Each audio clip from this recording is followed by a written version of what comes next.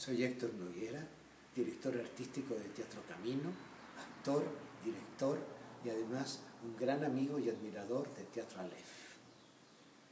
Les hablo para invitarlos a que nos vayan a ver en el Teatro Aleph, allá donde están ustedes, en París. Que vayan a ver a nuestro grupo joven, caminantes de Teatro Camino. Ellos se presentan con una preciosa obra que se llama Ay, qué bonito es volar, que está basado en Frida Kahlo. Van a tener funciones los días 15 y 21 a las 20-30 horas allá en Teatro Aleph.